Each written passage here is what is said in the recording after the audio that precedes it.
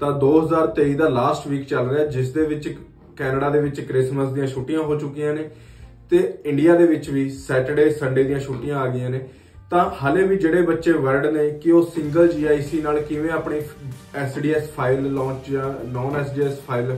Apply ਕਿਵੇਂ ਕਰਨ ਤਾਂ ਉਹ ਬੱਚਿਆਂ ਨੂੰ ਦੱਸ ਦੇਣਾ ਚਾਹੁੰਦੇ ਆ, ਘਬਰਾਉਣ ਦੀ ਹਲੇ ਵੀ ਕੋਈ ਲੋੜ ਨਹੀਂ 28 29 ਤਰੀਕ ਆਪਣੇ ਕੋਲ ਹੈਗੀ ਹੈ ਤੇ ਤੁਹਾਨੂੰ ਇਹ ਦੱਸ ਦੇਣਾ ਚਾਹੁੰਦੇ ਆ ਕਿ ਤੇ ਜਲਦਬਾਜ਼ੀ ਦੇ ਚੱਕਰਾਂ 'ਚ ਤੁਸੀਂ ਇਹ ਨਾ ਭੁੱਲ ਜਾਓ ਕਿ ਗਲਤ ਕੋਰਸ ਸਿਲੈਕਸ਼ਨ ਬੈਠ ਜਾਓ ਕਿਤੇ ਤੁਹਾਡੇ ਹੱਥ ਦੇ ਵਿੱਚ ਕੱਲਾ ਤੁਹਾਡਾ ਵੀਜ਼ਾ ਹੀ ਰਹਿ ਜਾਵੇ ਉਧਰ ਜਾ ਕੇ ਤੇ ਬਾਅਦ ਚੋਂ ਪਛਤਾਉਣ ਤੋਂ ਇਲਾਵਾ ਤੁਹਾਡੇ ਕੋਲ ਕੋਈ ਹੋਰ ਮੌਕਾ ਨਾ ਹੋਵੇ।